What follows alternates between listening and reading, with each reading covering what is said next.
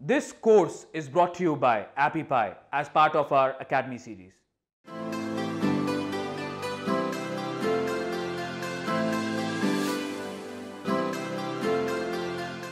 In this video, I'm going to give you a strategy that can raise your downloads by hundreds of percent. And that strategy is to translate your app title and description into other popular language like Spanish, French, German, Arabic, Chinese, and other Hindi and other popular languages.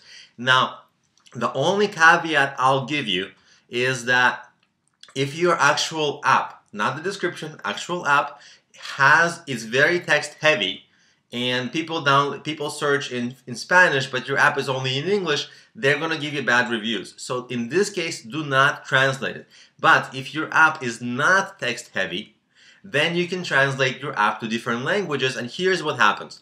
If somebody searches hello in Spanish, hola, and your app is supposed to rank for the word hello, they'll never find you until you translate your app into Spanish and other languages. So this is the way. I'm going to give you a, few ways to translate your app. The first one is obviously Google Translate. It's free. The problem with Google Translate is that it doesn't always translate perfectly. There are a couple of other options. There is, of course, the Fiverr freelancing where you can get $5 for, for, for $5 somebody will translate your app description and app title and they'll do it professionally. And there's also these services like Tethras, which will do translations for as little as 12 cents a word, which actually is not that little if you have a long review. So these are your options for translations, and immediately with translated app titles and descriptions, you can get more downloads from the app stores.